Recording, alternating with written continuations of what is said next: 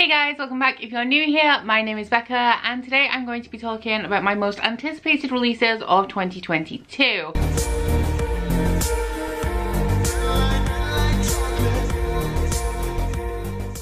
As we discussed in my stats video, I'm not big on keeping track of like debut authors, what's new and coming out in that regard. So this is not going to contain things like that. This is mainly going to be sequels in series that I've already started or I'm up to date on and I'm anticipating the next release. It's also going to be books from like my auto buy and my favorite authors who I do check in on and see what they have coming up in the coming year. There are probably going to be some things that I've missed. I'm not super good at keeping track of upcoming releases because I know that if it's a book that I'm interested in, it's going to come across my radar closer to its release and then I'll kind of become more aware of it. I don't, I just don't look forward to things really. I had an existential crisis a couple of weeks ago when I realized that this is because I'm normally used to disappointment or I fear disappointment. So I don't bother looking forward to things in terms of book release. I do it with everything, but in terms of book releases, I guess it's in case the date is pushed back and I've hyped myself up for having this book on this specific day and it's not going to arrive on that specific day but I will be going through these in order. I have done it the entire year, but obviously as we get later into the year, there's going to be things missing because things haven't even been announced yet. And a lot of the ones towards the end of the year don't have like covers or dates. Some of them just have like a rough date, like a month in the year. So some of them may not even come out this year, but this is based on the research that I've done. I always get when I make these videos questions about where I find out about new releases. So I check all of my auto buy authors, just type them into Goodreads, see if they have anything coming out. I also have a spreadsheet where I keep track of all the series that I'm reading. Anything I know that isn't complete. I go and check and see if they have a release date for the next book in the series. And one that I use which is the first thing that I go to is if you go onto Goodreads and then go to the browse section it says upcoming releases and it will give you a list of books that are being released every single month based on the authors that are on your Goodreads shelves. So I go through there and pick out all of the new releases that I'm probably going to be buying, but they only go like six months in advance, so I could only get information up to June of this year from there. But starting off right at the beginning of the year in January, as I am making this video towards the end of January, a couple of these have already been released. The first one I have is Beautiful Nightmares by KJ Sutton. This one was released on the 4th of January and I have already read it. I've just posted my vlog where I read this one. This is the fourth book in the Fortuna Sworn series, which is one of my favorite series series of all time and it is an indie self-published fairy romance story. It does have more like more paranormal creatures but it starts off as a fairy romance about this woman called Fortuna who is a nightmare so she can sense people's fears and make them believe that they're experiencing them. And she is the last of her kind. Her brother went missing two years prior to the start of the story and she cannot find a single trace of him. That is up until a very attractive and powerful fairy male approaches her and says that he knows where her brother is and he can take her directly directly to him, providing that she marries him. Absolutely love this series. This one in particular was also my favorite installment in the series so far. It is a 700 page behemoth and it is available now. The second of the January releases is The Monarchs by Kass Morgan and Danielle Paige. I did have an e-arc of this on NetGalley. However, I'm a little bit late in reading this. It's going to be the next book that I pick up. So I do have a finished copy now as well. But this is the sequel to The Ravens, which is a new adult contemporary fantasy that is set in this sorority of witches and we have two perspectives. One of them is a legacy member of the sorority who wants to become the president and the other one is somebody who is new to the university and doesn't even know that she has magical powers and even though they don't really like each other they kind of have to band together with the rest of the sorority to find out who is responsible for all of these sorority members that are going missing. I really loved the first book in this series. It's like a fun witchy slasher kind of book, nothing too deep but really fun and an enjoyable read and I'm really excited to get into the Monarchs. This one was released on the 11th of January. Next up, we have, of course, my most anticipated release of the year, which is House of Sky and Breath by Sarah J Maas. This one is released on the 15th of February, and it is, of course, the sequel to House of Earth and Blood. This one is the second book in Sarah J Maas's adult urban fantasy series, where we're following a half-fae woman called Bryce Quinlan, who is tasked with investigating this string of murders. The authorities thought that they'd already captured the murderer. However, two years after this capture, the murders start up again and they ask Bryce to look into it because she has a personal connection to this case. And as it is quite a dangerous task, they assign the fallen angel Hunt Athalar to accompany her. House of Earth and Blood, when I read it in 2020, was one of my favorite books ever. It like my favorite book ever. I was obsessed with it. I still am. So as you can guess, I am highly anticipating House of Sky and Breath and I will be reading it as soon as it arrives, no matter what I'm in the middle of. And there will be like a dedicated spoiler reading vlog to it and all of that stuff. For the 1st of March, we have a book that I've received an arc of just this morning, which is Hook, Line and Sinker by Tessa Bailey. This is the second book in the Bellinger Sisters series, and it is an adult contemporary romance. I haven't read the first book in this series, it happened one summer yet, but I did pick it up on Aaron from Booked Busy's recommendation. So I think I'm going to be doing a romance reading vlog where I read both of these. But this is a series of fisherman romances, which like I haven't read anything from Tessa Bailey yet, but I'm particularly drawn to this series because you know, like a nice, a nice rugged fisherman. How could I not want to read that? But this one is about a crab fisherman who is notorious with the ladies. He's a bit of a ladies man, a bit of a charmer. And when he meets Hannah Bellinger, she is immune to his charm. Now he doesn't want to ruin anything with her by attempting to go for a fling as she just wants to be friends. So I'm guessing that this is going to be a friends to lovers story. Heard great things about Tessa Bailey and I'm really excited to read both of the books that have been published or will be published when this is out in March in this series so far. Also on the 1st of March, we have one that I was a little bit unsure about whether I wanted to put it on this list. I have pre-ordered it, but I actually think I'm going to cancel my pre-order because I have a feeling it's going to be a book for a book box. But this one is Gallant by V. Schwab. The reason why I wasn't sure about putting it in my anticipated releases is because V. Schwab is a very hit or miss author for me. I absolutely adore The Invisible Life of Addie LaRue and The Vicious Duology, but I was very underwhelmed when I read The Monsters of Verity Duology and also Dark Shade of Magic. So she's an author where I do buy her books and I do give them all a try because some of her work I have loved, but I don't get overly excited for her books because I know there's a good chance that I'm not going to enjoy them. But this one I don't know very much about. I think it's a YA fantasy. I think it's possibly a standalone and it's also I think a little bit of a haunted house story. It follows this girl who's grown up in this boarding school for girls but she gets a letter inviting her home and I think the house is called Gallant but when she gets there nobody is expecting her and the people who are there are a little bit hostile. On the 15th of March March, we have The War of Two Queens by Jennifer L. Armentrout, which is book four in the Blood and Ash series, which is a high fantasy slash paranormal romance series about this girl called Poppy who is the maiden. She's kept in captivity, but it doesn't seem like captivity to her, I guess. But she's never to be looked upon, never to be touched, never to experience pleasure up until the day of her ascension. And there's a lot of mystery surrounding what the ascension actually is because nobody will tell her and the love interest in this story is one of her guards who is tasked with guarding her until her ascension called Hawke. The paranormal elements in here are revealed throughout the first book so I don't like to say them but if you want to know it's pretty easy to find online because some people do just say what the paranormal elements are but I was very disappointed by book three in this series. I am going to continue because I really enjoyed book one and two and I really like where book three left off like the last 50 60 pages of book three three were five star material. The rest was not very good in my opinion. So I'm really excited to see where the story goes from there. I'm just hoping it's a little bit better than book three because I'll be really upset if this series starts to go dramatically downhill. The next one is released on the 14th of April but I do think that it may have an earlier release in the US because I've also found a date for this book for February but that is Amari and the Great Game by B.B. Alston. This is the sequel to Amari and the Night Brothers which is a children's fantasy series about this girl called Amari whose brother has gone missing. She knows that he has this top secret super dangerous job but she has no idea what it is and after he's been missing for a while she she gets an invitation to, I think it's the Bureau of Supernatural Affairs, where she goes and is initiated into this summer camp where you can train in a variety of weird, wonderful, magical areas. And Amari decides to follow in her brother's footsteps and go down the secret agent track to see if that will bring her any closer to finding out what actually happened to her brother. For the 10th of May, we have another one that I'm a little bit unsure about, and that one is Misrule by Heather Walter. This is the sequel to Malice, which I read in 2021. It is a new adult Sleeping Beauty retelling told from the perspective of the villain and it is also sapphic where the villain who is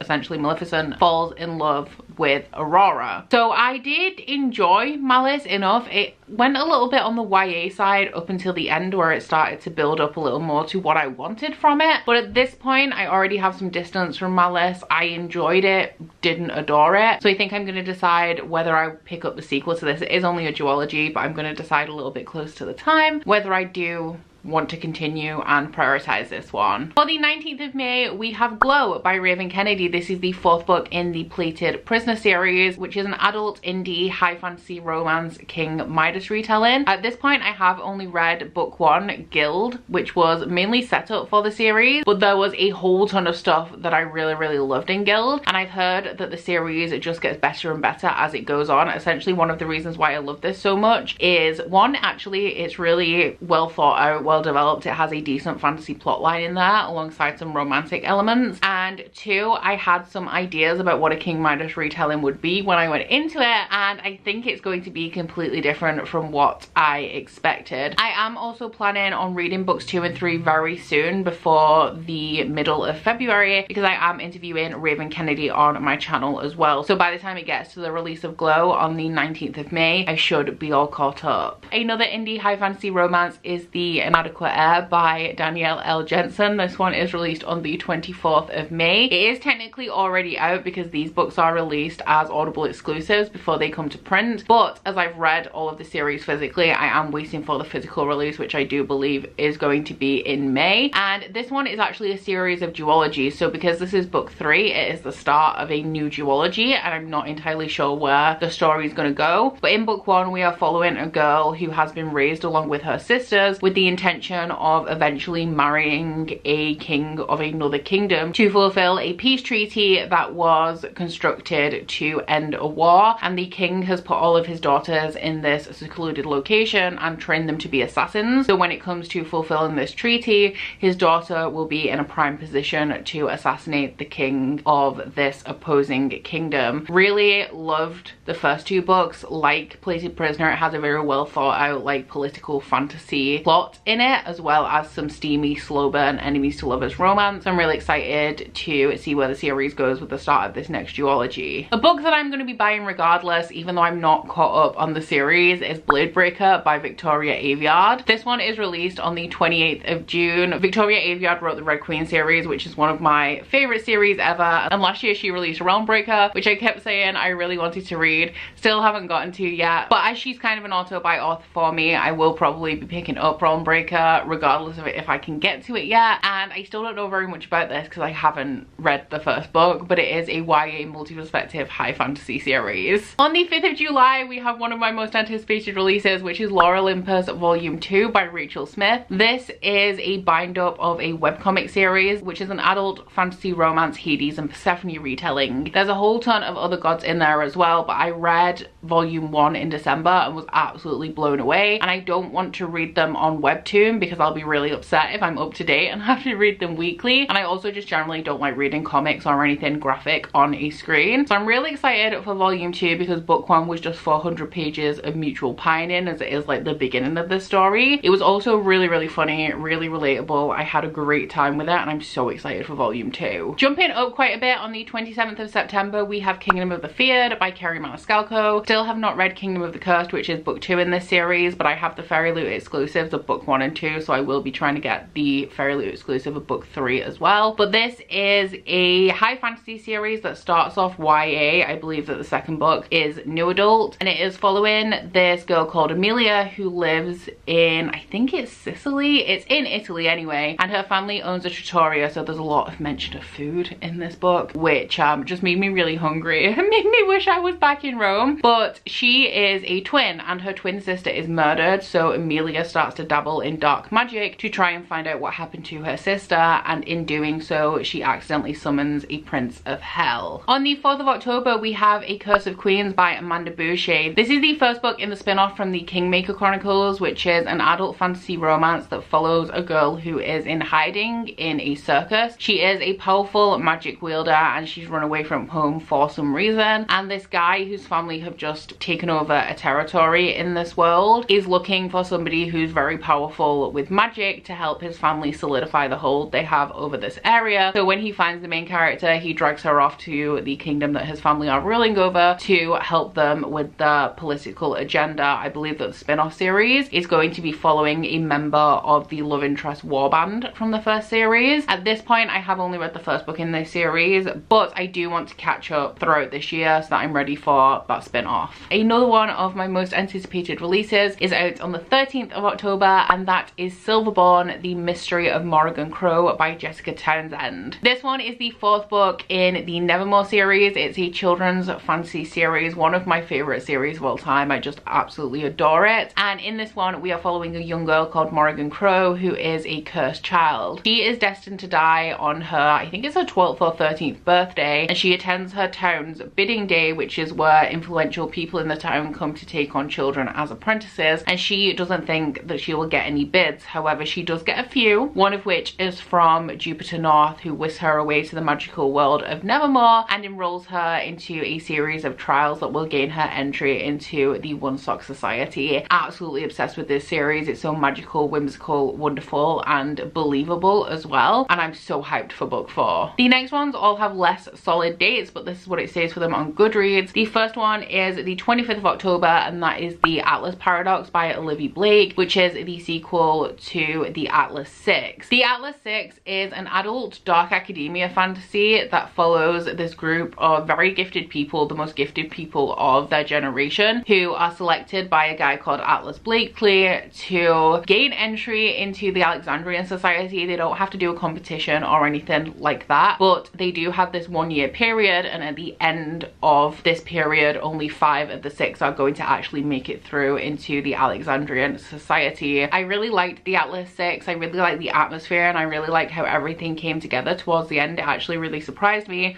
So I'm really excited to see where the sequel takes it. For the 15th of November, we have The Lost Metal by Brandon Sanderson. I actually, for some reason, I thought this was being released in July, but Goodreads says the 15th of November. This is the seventh book in the Mistborn series. So it's the fourth book in the second era. If you guys are unaware of what Mistborn is, it is an adult epic high fantasy series starting off with this guy called Kelsier who is putting together a gifted team of allomancers to overthrow the Dark Lord and the final empire. So allomancy is the ability to ingest metal and harness their abilities and if you can harness the abilities of all of the metals then you are a Mistborn. Kelsier himself is a Mistborn and he stumbles across another one which he brings onto the team and this is essentially essentially a high story. They're trying to overthrow the government. Now, the second era of Mistborn is set 300 years after the events of the first trilogy. So it starts with like book four in the Mistborn series. I have currently not started the second era of Mistborn, but because there is a date for book four, I think I'm going to aim to be caught up by that date so I can read The Lost Metal when it's released. You're gonna call me really optimistic for having this on here. I have seen three, I think, release dates for this book and none of them are confirmed officially in any way, shape or form. But the book in question is Lightbringer by Pierce Brown, which is book six in the Red Rising series. Red Rising is an adult sci-fi story. It has a martial fantasy plotline. It also has like a dystopian society in there as well. But it's following this guy called Darrow who is a red and in the caste system of this universe, reds are right at the bottom and golds are right at the top. The reds believe that they are mining for this valuable resource called helium-3 that will allow people to terraform the galaxy and all of the planets so that everyone can escape the dying planet Earth. However, after Darrow's wife orchestrates her own capture and execution to spur Darrow into action, he ends up going to the surface of the planet and realizes that it's already terraformed and has been for a very long time and his people are essentially being kept in slavery. So Darrow then joins up with a rebellion to infiltrate the Golds and tear them apart from the inside. One of my favorite series ever, Golden Son was my favorite book of 2021 and I have intentionally not read books four and five because I know that Pierce Brown likes his cliffhangers and there is no official release date for book six. However, at the minute, Goodreads has it down for the 7th of December 2022. I've also seen an audiobook site that has pre-orders up and I think the release date on that was sometime in July. And I'm pretty sure Amazon has a different release date that is also towards the end of the year. So nothing has been officially confirmed These are just dates that are popping up here, there and everywhere and have been for the last couple of months. But I would love to be able to read the second trilogy this year and I just need a confirmation on that release date so that I can dive in. I'm just I'm so excited because I love Red Rising so much. It is literally one of my favorite series ever. And then the final one that I have to talk about just says 2022 on Goodreads? It doesn't even have a title yet but the first book was only released in I think it was November 2021 so that is probably why. But that is the sequel to All of Us Villains by Amanda Foody and Christine Lynn Herman. This is a young adult fantasy that is set in this town where every 20 years the seven influential magical families of the town put seven of their children like teenagers into a tournament ground where they have to fight to the death for control of the high magic and whoever wins will gain that control for their family for the next 20 years. I really liked the first book actually. It wasn't quite as villainous as I would like but the plot did thicken substantially throughout the book to a point where I'm really excited for the sequel and I do anticipate this being released in like October, November November, December. I'm just assuming that it is because the first book was released so recently that there is no solid date for the second book as well. And this one is just a duology. So when the second book is out, the series is done. But there you have it. Those are all of my anticipated releases for 2022. As I mentioned at the beginning, there's not any debuts or anything in here. There are books that are going to be coming out throughout the year, I imagine, that I will be getting excited about and will end up purchasing, reading, loving, all of that kind of stuff. I may have also forgotten some as well because like I said, I'm not super on top of keeping track of new releases and I may make a follow-up video of this as well halfway through the year when we do have some more announcements and more concrete release dates for books that are coming out from like July through to December. But down in the comments, please let me know what your guys' most anticipated release for 20 2022 is. And aside from that guys, please don't forget to like this video if you liked it and subscribe if you wanna. If you head to my description box, you'll find a link to my Goodreads, Instagram, and Twitter if you'd like to follow me on any of those, as well as a link to my Bookish Candle website, the Instagram for that, and a 10% off discount code. But that's it from me today, guys. Bye! Oh, you say you're go and nobody knows With guns hidden under our petticoats. We're never gonna quit it, no, we're never gonna quit it, no